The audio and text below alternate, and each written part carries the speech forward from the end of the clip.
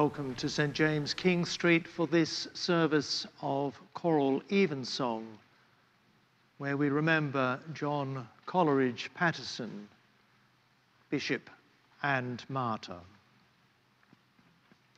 Born in London in 1827, John Coleridge Patteson was influenced by the Oxford movement and showed an outstanding flair for languages and in 1861 was consecrated as the first bishop of Melanesia.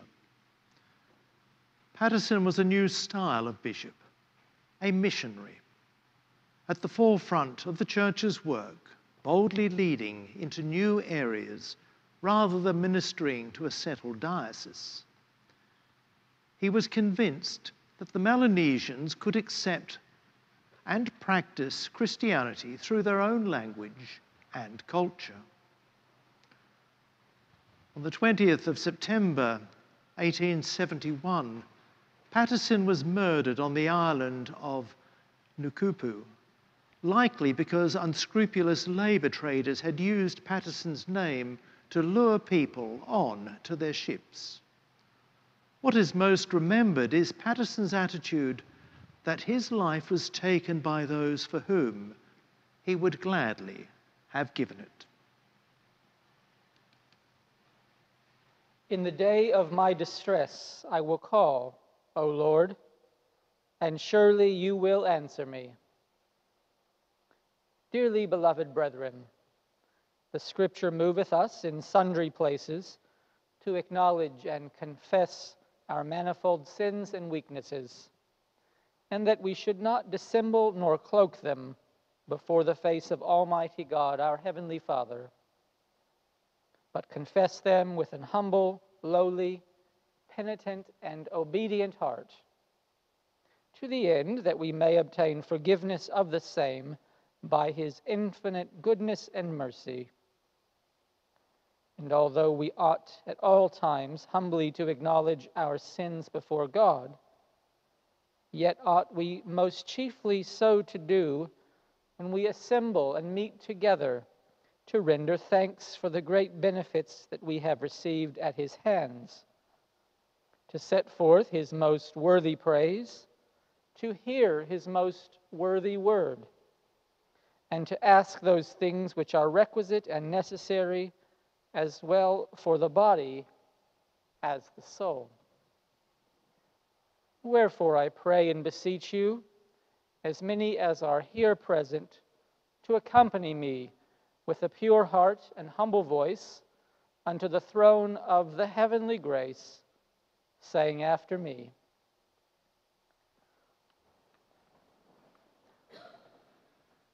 Almighty and most merciful Father, we have erred and strayed from thy ways like lost sheep. We have followed too much the devices and desires of our own hearts. We have offended against thy holy laws. We have left undone those things which we ought to have done. And we have done those things which we ought not to have done. And there is no health in us. But thou, O Lord, have mercy upon us, miserable offenders. Spare thou them, O God, which confess their faults Restore thou them with the penitent, according to thy promises declared unto man in Christ Jesus our Lord. And grant, O merciful Father, for his sake, that we may hereafter live a godly, righteous, and sober life to the glory of thy holy name. Amen. Almighty God, the Father of our Lord Jesus Christ, who desireth not the death of a sinner, but rather that he may turn from his wickedness and live, and hath given power and commandment to his ministers to declare and pronounce to his people being penitent the absolution and remission of their sins. He pardoneth and absolveth all them that truly repent and unfeignedly believe his holy gospel. Wherefore, let us beseech him to grant us true repentance and his Holy Spirit, that those things may please him which we do at this present, and that the rest of our life hereafter may be pure and holy, so that at the last we may come to his eternal joy through Jesus Christ our Lord. Let us pray. Our Father, which art in heaven, hallowed be thy name. Thy kingdom come, thy will be done, in earth as it is in heaven. Give us this day our daily bread, and forgive us our trespasses, as we forgive them that trespass against us. And lead us not into temptation, but deliver us from evil.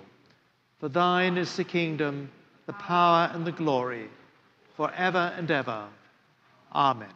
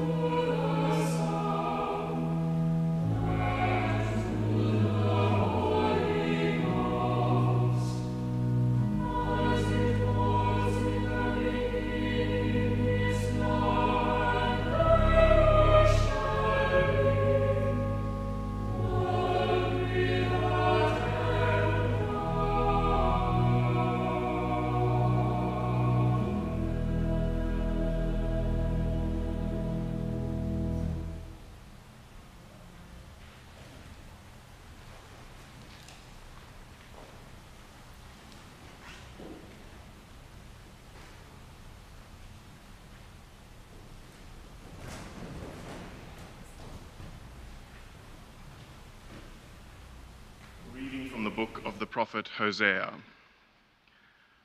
When Israel was a child, I loved him, and out of Egypt I called my son.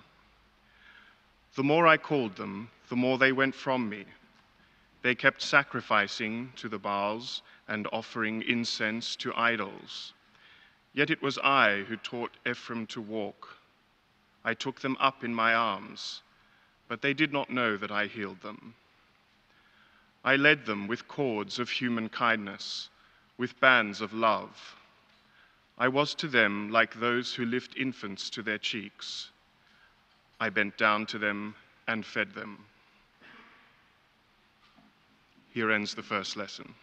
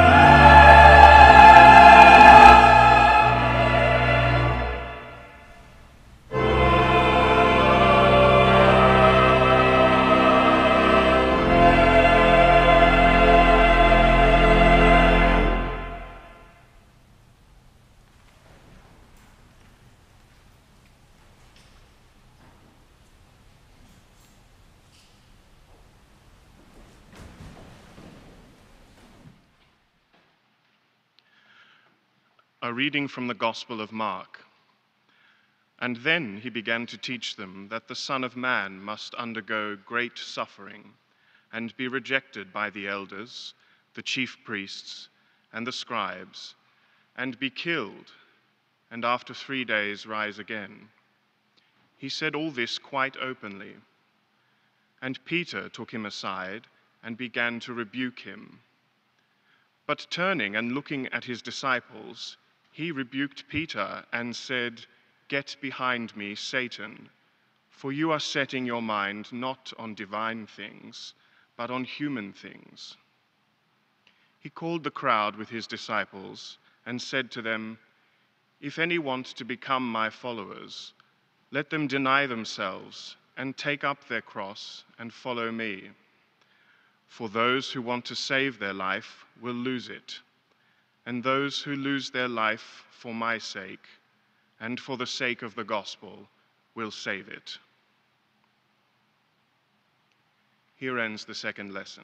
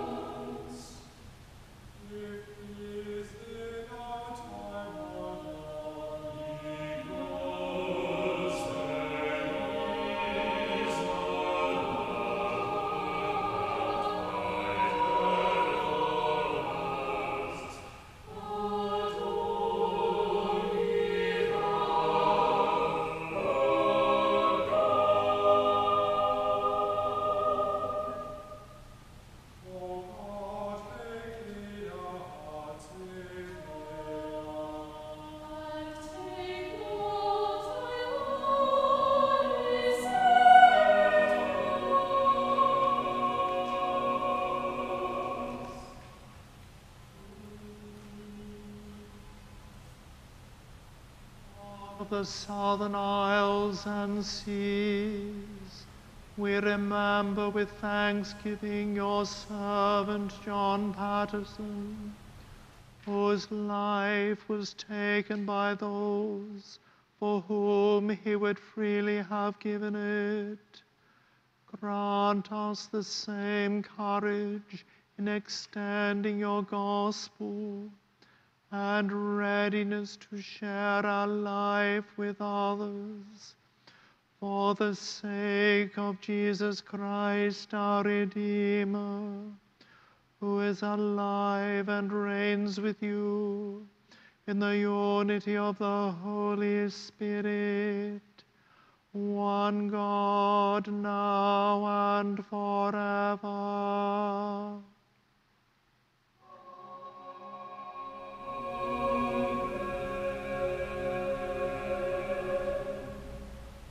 From whom all holy desires, all good counsels, and all just works do proceed.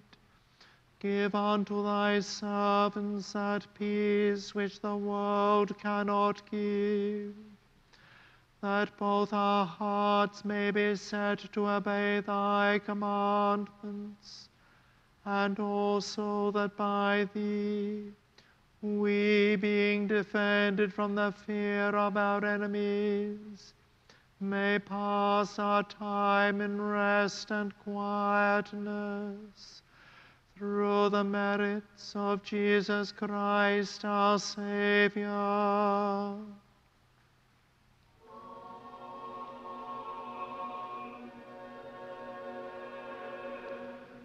Lighten our darkness, we beseech thee, O Lord, and by thy great mercy defend us from all perils and dangers of this night. For the love of thy only Son, our Savior Jesus Christ.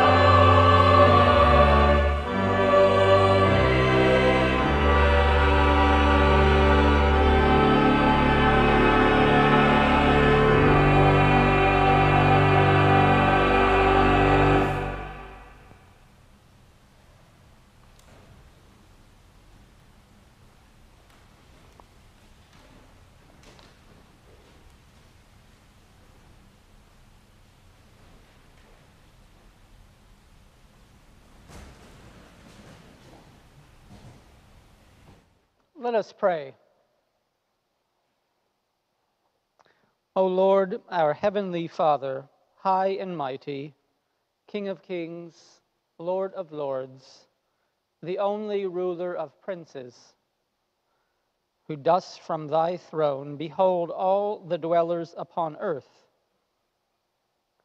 Most heartily we beseech thee with thy favor to behold our most gracious sovereign Lord, King Charles, and so replenish him with the grace of thy Holy Spirit, that he may always incline to thy will and walk in thy way. Endue him plenteously with heavenly gifts. Grant him in health and wealth long to live. Strengthen him that he may vanquish and overcome all his enemies. And finally, after this life, he may attain everlasting joy and felicity through Jesus Christ our Lord. Amen. Almighty God, the fountain of all goodness, we humbly beseech thee to bless Camilla, the Queen Consort, William, Prince of Wales, the Princess of Wales, and all the royal family Endue them with thy Holy Spirit. Enrich them with thy heavenly grace. Prosper them with all happiness. And bring them to thine everlasting kingdom through Jesus Christ our Lord. Amen.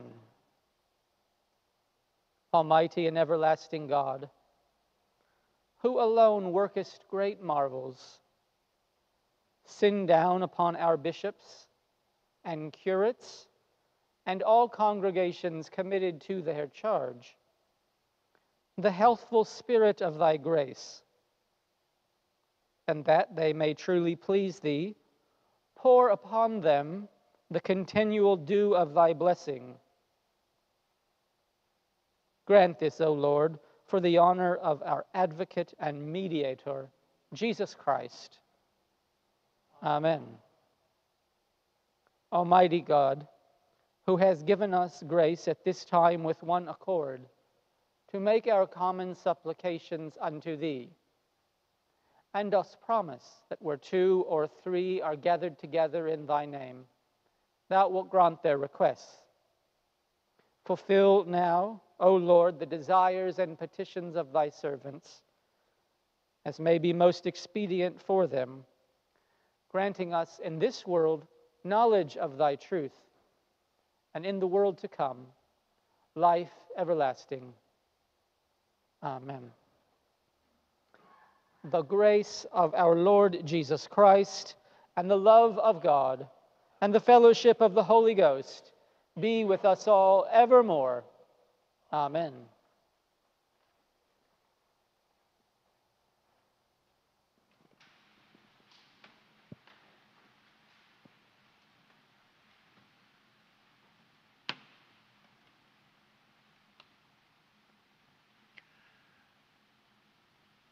When I agreed to preach this evening, I was given the topic of Bishop Patteson and the martyrs of Melanesia.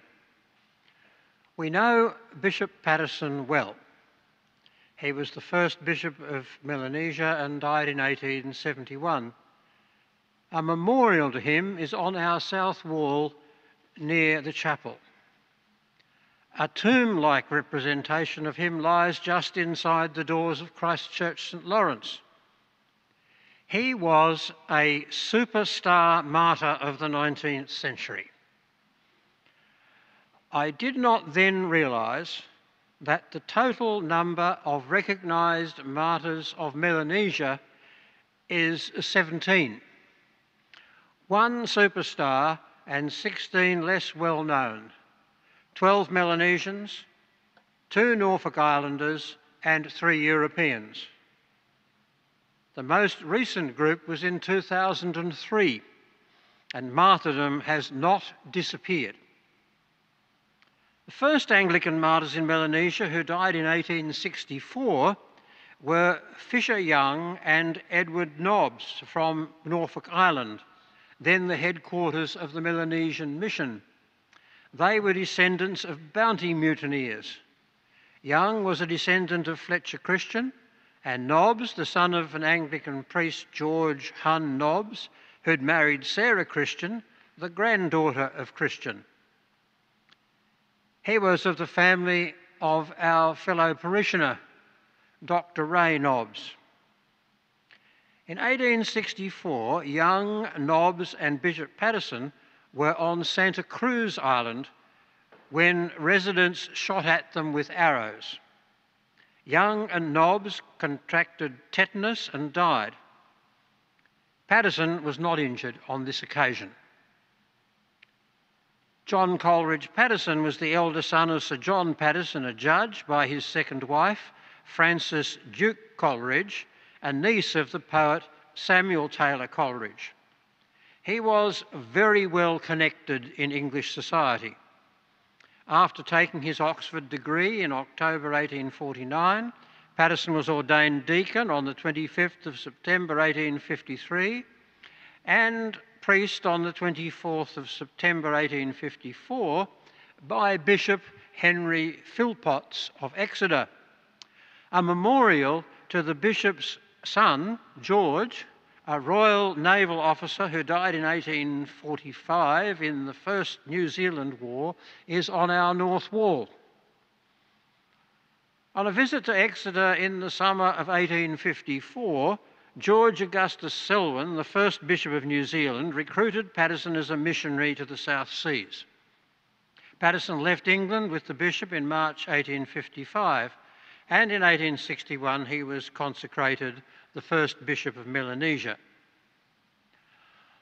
On the morning of the 20th of September 1871, Patteson, aboard the mission vessel Southern Cross, was off the small island of Nukapu.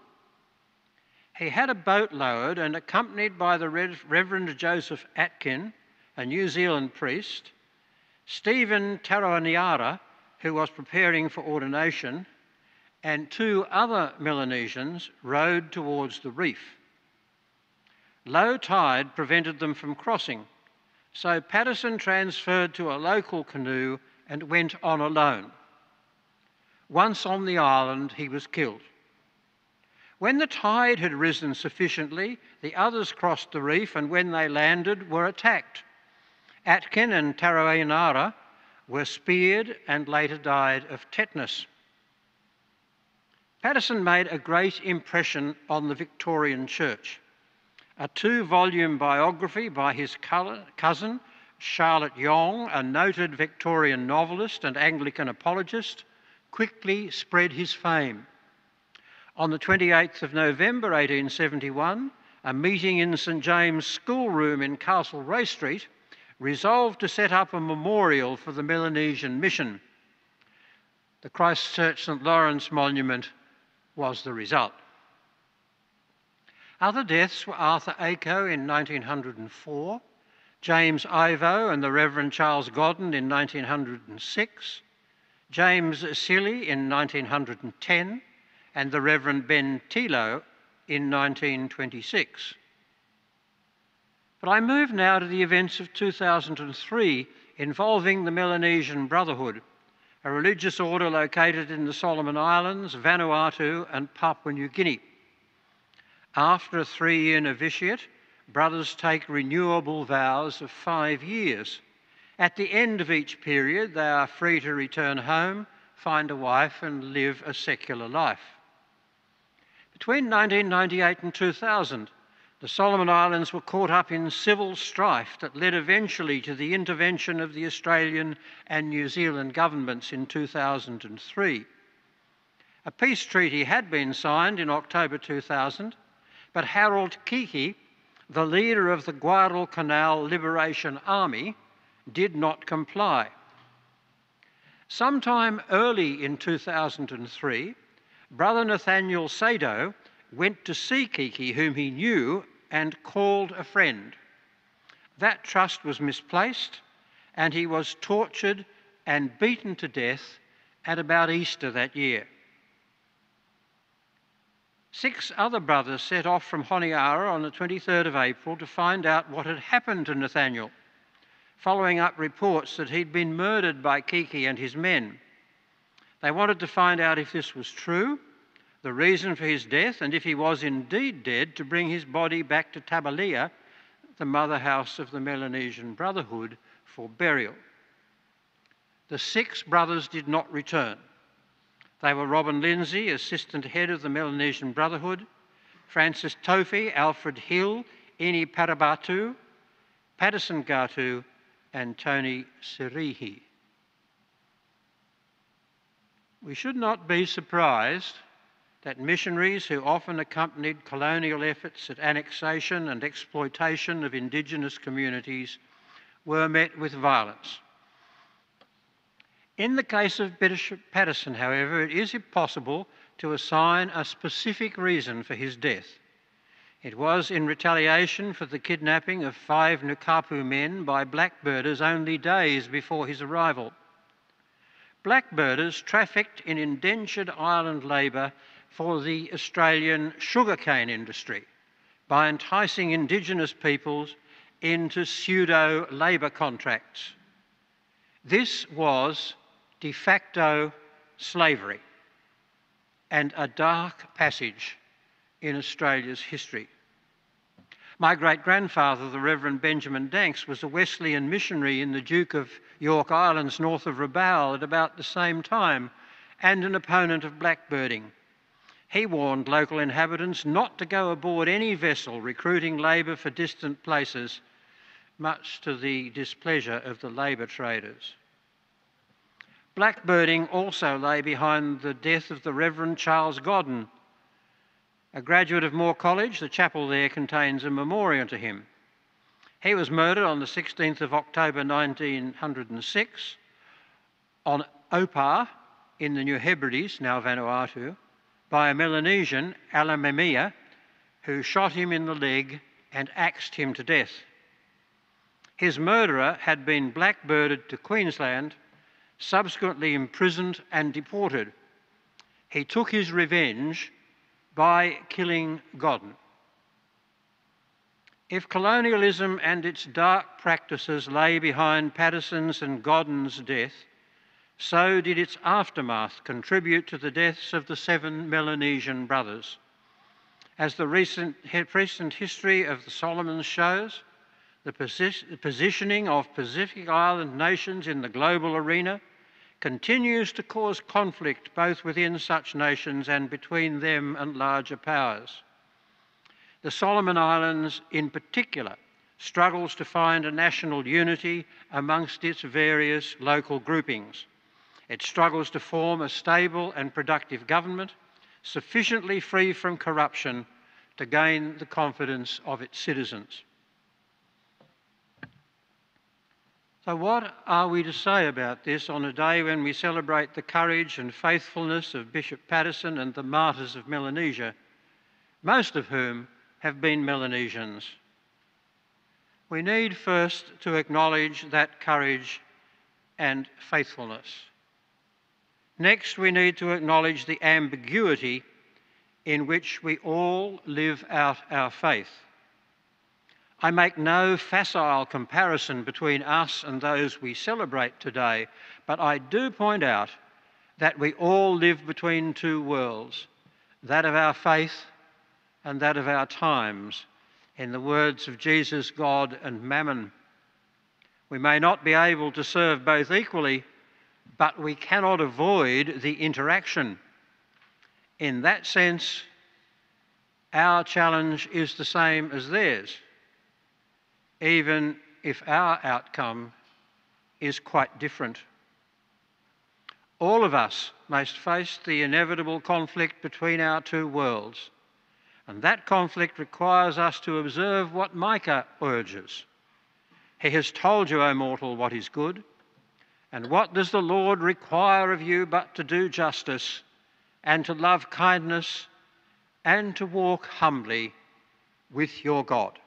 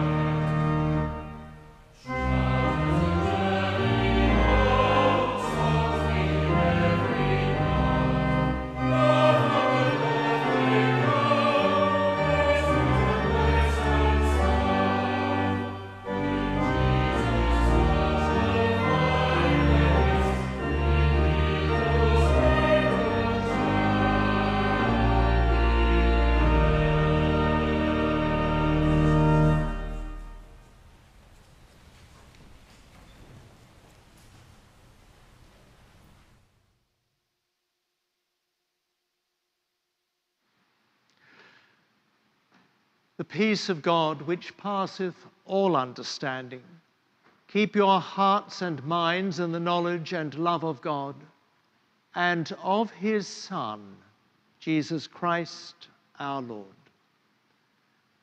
And the blessing of God Almighty, the Father, the Son, and the Holy Ghost be amongst you and remain with you always. Amen. Música